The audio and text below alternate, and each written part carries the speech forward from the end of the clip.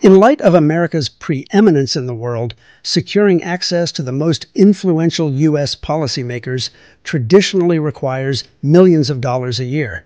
However, due to the unique commitment and financial sacrifice of a select number of Hellenes in the U.S. and the merit of our cause, we have established and maintained access at the highest levels with a fraction of that funding. Fifty years ago, when we faced the tragedy of the invasion of Cyprus, we learned how to properly contribute to, fundraise for, and lobby our policymakers. This led to imposing the Turkish arms embargo and, for the only time in modern history, overriding the White House and the State Department on a major foreign policy issue. In the years that followed, we have maintained decades long relationships with numerous consequential policymakers and continued to punch far above our weight. For example, only two nationalities have met with the President of the United States at the White House every year for over 30 years the Irish, who are one out of nine Americans, and we Hellenes, who are one out of every 250. Other major successes include keeping the Cyprus issue at the forefront of every administration in U.S. Congress, cutting U.S. aid to Turkey from over $1 billion a year to zero, passing a law to force the U.S. to find out what happened to the missing in Cyprus, and clearing the way for Cyprus's early accession to the EU by initiating the effort that switched France and Germany's objection. Further, we Hellenes, led by our Cypriot Americans, who are just one out of every 6,000 Americans, accomplished for Cyprus what few other countries can do. We meet each year with America's top foreign policymakers in the U.S. Senate, U.S. House of Representatives, and in the executive branch. Just weeks ago in Washington, D.C., we held the 39th annual PSEKA Cyprus Conference.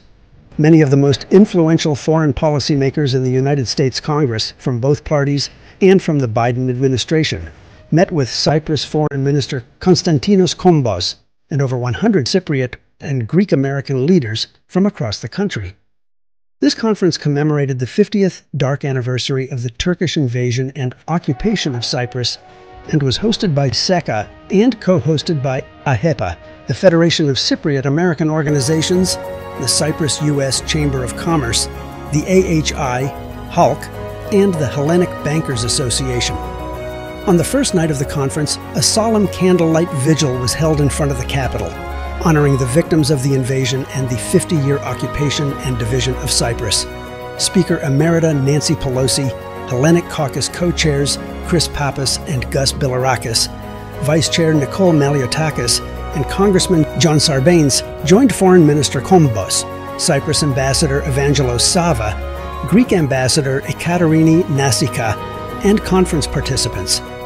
In addition, the leader of the United States Senate, Chuck Schumer, and the Democratic leader of the U.S. House of Representatives, Hakeem Jeffries, met prior to the vigil with Cyprus Foreign Minister Kombos and community leaders Dennis Mehiel, Philip Christopher, Andy Manatos, and Savas Tsivicos to show their solidarity for this commemoration of the dark anniversary.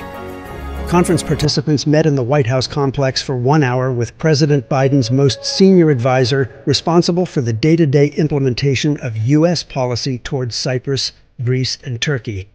National Security Council Senior Director for European Affairs Michael Carpenter.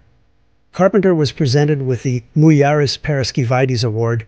Previous recipients of this award have included Joe Biden, Jake Sullivan, Speaker Pelosi, House Foreign Affairs Committee chairs, and Senator Ted Kennedy, among others. Also representing the Biden administration was U.S. Ambassador to Cyprus, Julie Fisher, Participants traveled to Capitol Hill for a welcome reception hosted by Foreign Minister Kombos. It featured a special photo exhibition titled The 50 Years of the Turkish Invasion of Cyprus, 1974 to 2024. This was the first time the photo exhibition has appeared in the United States with the aim of providing photographic evidence of the displacement and actions of the Turkish occupation and division of Cyprus. There, we honored the House Foreign Affairs Committee's ranking Democrat, Congressman Gregory Meeks, with the Williams Award. Previous recipients of this award have included Barack Obama, Kamala Harris, and Hakeem Jeffries, among others. Also honored at this reception was the new co chair of the Congressional Hellenic Israeli Alliance, Congressman Brad Schneider, with the Freeses Award. Previous recipients of this award have included Dick Holbrooke, National Security Advisor Sandy Berger, congressional committee chairs, and Leader Schumer. At the conference banquet, we honored Senator Paul Sarbanes posthumously and Congressman John Sarbanes for their combined over 50 year fight on the front lines for Cyprus. One of our conference's most prestigious awards was renamed the Sarbanes Freedom Award, and they were the award's first recipients. The chairman of the Senate Foreign Relations Committee, Senator Ben Cardin, introduced the Sarbanes. During these past 50 years, the Greek American community has spared neither time, effort, or money in its fight for Cyprus.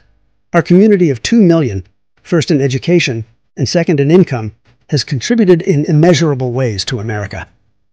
Unfortunately, we have thus far failed to convince the U.S. to bring pressure to bear on Turkey as it continues its illegal occupation of Cyprus.